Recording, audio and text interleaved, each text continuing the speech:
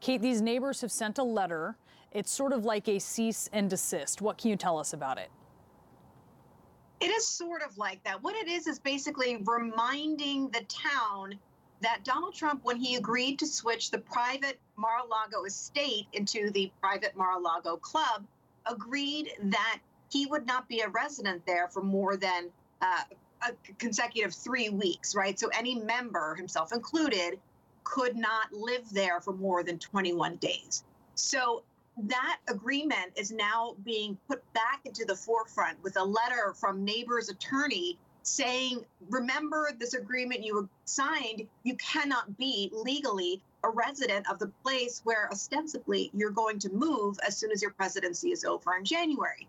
So it's sort of between a rock and a hard place. Donald Trump has had a contentious relationship with the town of Palm Beach for many, many years since he purchased the property in 1985, going back and forth in all sorts of legal battles. So this becomes another effort by the residents and the neighbors whose lives have been disrupted, they say, by his presidency uh, to prevent him from moving there permanently.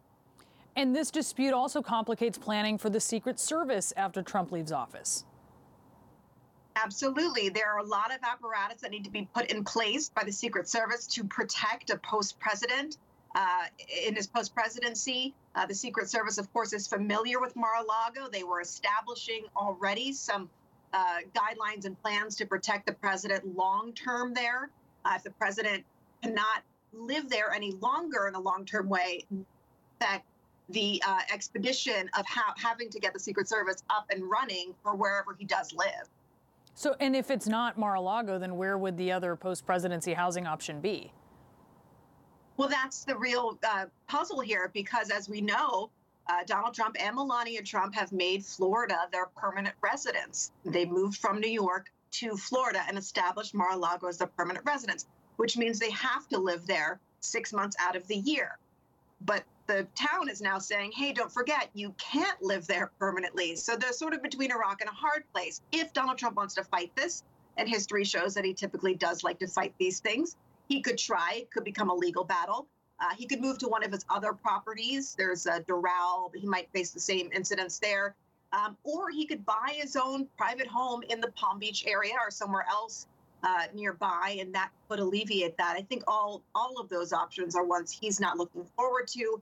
Uh, the family has renovations. The First Lady's been overseeing them and improvements and updates to their private quarters at Mar-a-Lago in preparation uh, for moving down there in January. She has looked at schools for their son Barron.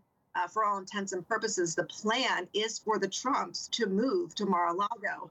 Uh, and now this could be a real, a real legal puzzle for the president moving forward.